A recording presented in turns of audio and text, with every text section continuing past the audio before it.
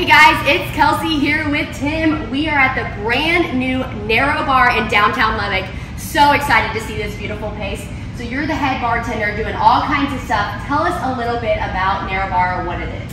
So what we want, our mission is to give Lubbock a approachable classic cocktail lounge. So we don't get too crazy with the bitters and everything. We do authentic classic recipe cocktails from the 1800s, 1920s. We keep it true to what it is.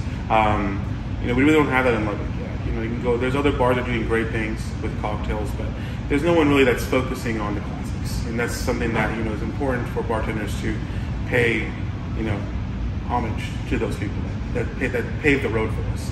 Um, and that's really what it is: elevated bar food, classic, well-made cocktails. Y'all had your soft opening last Monday, so Yes, you've been open up a little over a week. How's it been? How's it kind of been? What can people expect? You know, it, the, the soft open's done for a reason, and that's to get everybody eased into the process, give our kitchen time to get used to, you know, the the recipes, get our bartenders used to the recipes, get our servers used to the steps of service that we require and expect from them. And so we've been doing great.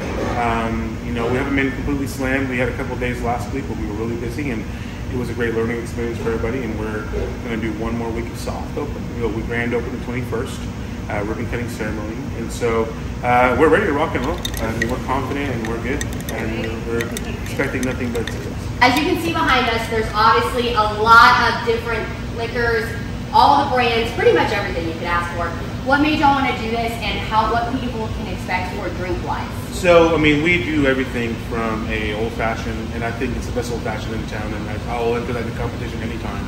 Um, we wanted to have the, the, the greatest selection possible. We have over 35 whiskeys, uh, most of them being bourbons. We do have a lot of ryes, Canadian whiskeys, scotches, etc.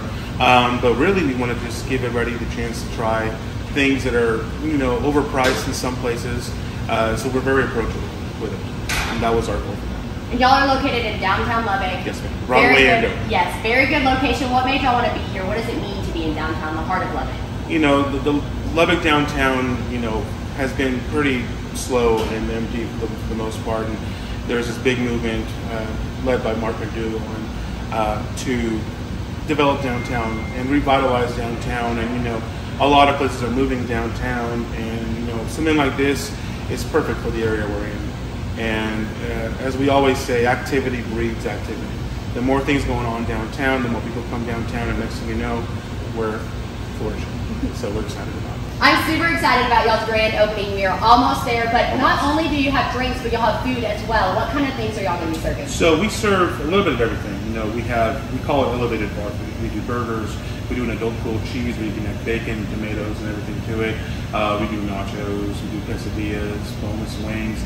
Everything done, but we cook it right. Um, we're open for lunch, so we open at 11 a.m.